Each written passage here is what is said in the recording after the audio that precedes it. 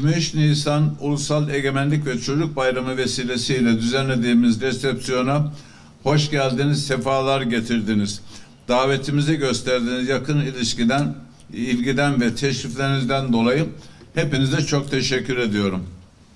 Bugün Gazi Mustafa Kemal Atatürk'ün zor şartlar altında milleti bir araya getirerek Türkiye Büyük Millet Meclisi'ni açtığı ve ulusun geleceğini çocuklara adadığı özel bir gün. Bu anlamda dünyadaki ilk ve tek çocuk bayramını kutlamanın gururunu yaşıyoruz. Tüm bu çalışmaları yaparken dünyadaki gelişmeleri de dikkate alarak sizlerle yakın işbirliğimizi devam ettirmek istiyoruz. Sizlerin de bir Ankara sakini olarak ülkelerinizdeki tecrübeleri bizim de paylaşmanızdan ve işbirliklerimizi artırmaktan büyük mutluluk duyacağımızı bir kez daha belirtiyoruz. Kapımızın her zaman sizlere açık olduğunun, ülkelerimizdeki yerel yönetimler başta olmak üzere ilgili kurum ve kuruluşlarla teknik, sosyal, kültürel ve ticari alanlarda işbirliklerimizi geliştirmekten mutluluk duyacağımızın altını çiziyorum. Ankara barışın ve karşılıklı anlayışın simgesi olmaya devam edecektir. Uluslararası toplum olarak barışın sağlanması için yapıcı katkılarda bulunmak hepimizin sorumluluğundadır.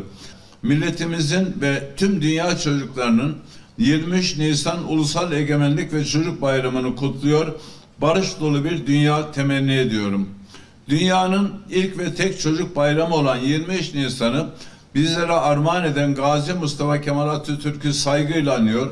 Kahraman meclis üyelerimizi ve aziz şehitlerimizi rahmet ve minnetle yad ediyorum.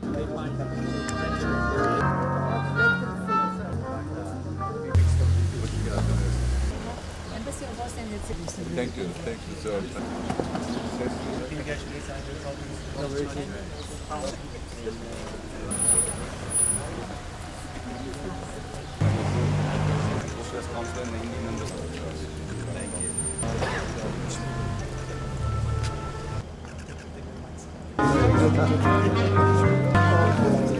Sizi bekliyoruz.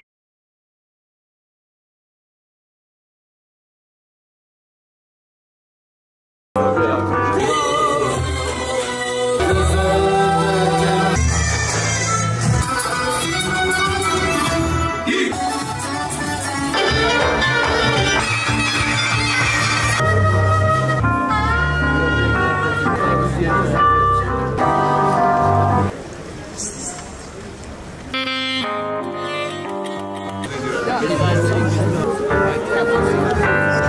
ederim.